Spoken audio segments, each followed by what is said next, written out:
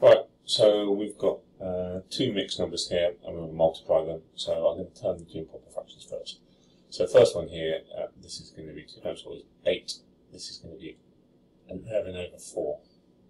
Multiplied by uh, 3 times 5 is 15, plus the 1, 16 fifths.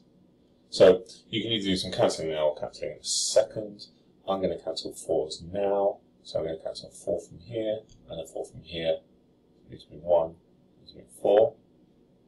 You just multiply across the top. 11 times 4 is 44. And then uh, across the bottom, uh, 44 over 5. You can leave your answer like this, but because the question is like that, I'm going to convert it back uh, into a mixed number. So 5 is going to 44 8 times, so it's 8 wholes and 4 fifths. Now you'd have got this the same way if you'd done um, just 11 times 16 and 4 times 5 and simplified at the end. But simplifying at the beginning allows you to make the numbers a little bit smaller and easier to deal with.